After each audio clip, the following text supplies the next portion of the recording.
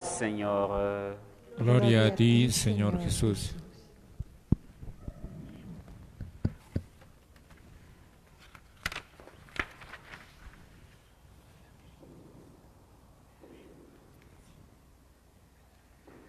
El cumpleaños eh, del padre o de la madre es siempre un motivo de alegría que reúne a toda la familia para celebrarlo.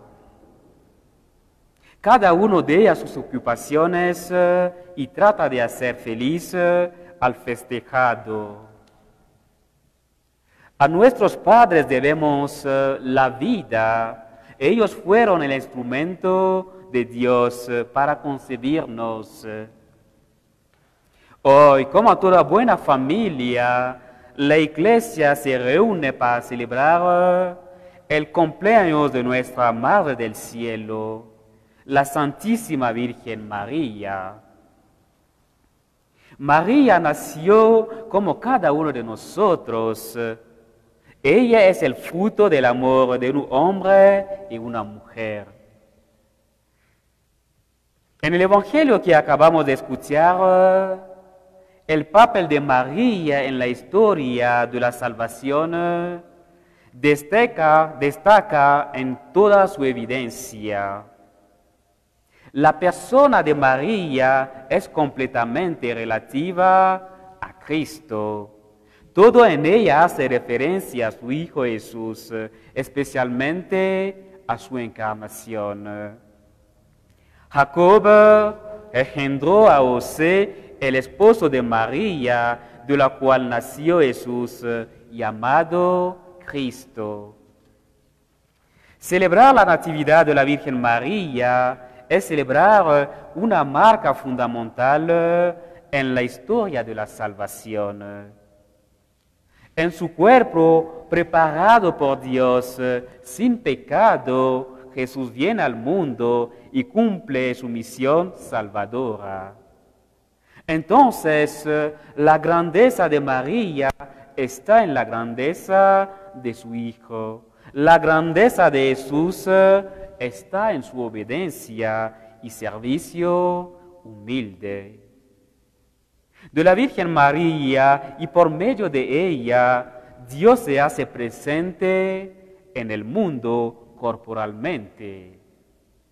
Sirviéndose de ella, Dios descendió y convivió con los hombres. Con el nacimiento de María, todo renace, porque es por ella que Jesús tomó la naturaleza humana para salvarnos.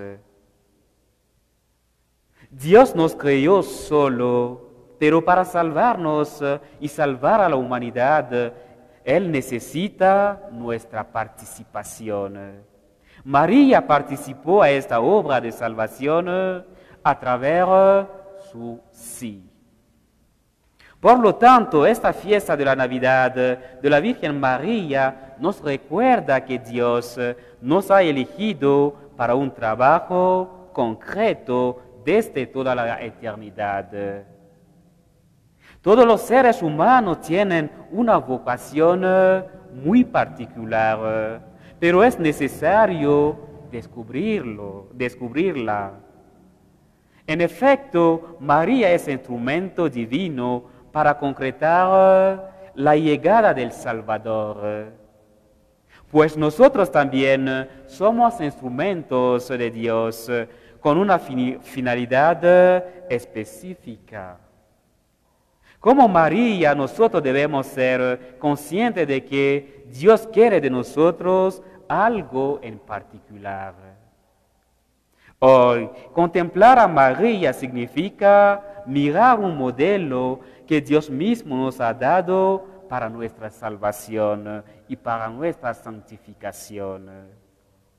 Y María nos enseña, ante todo, a conservar intacta la fe en Dios, esa fe que se nos dio en el bautismo y que debe crecer y madurar continuamente en nosotros durante las diversas etapas de nuestra vida cristiana.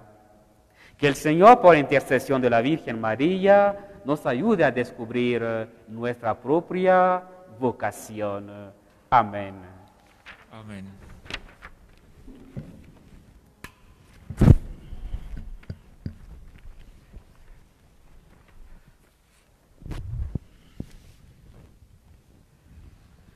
Ahora nos ponemos de pie para presentar al Señor nuestras súplicas.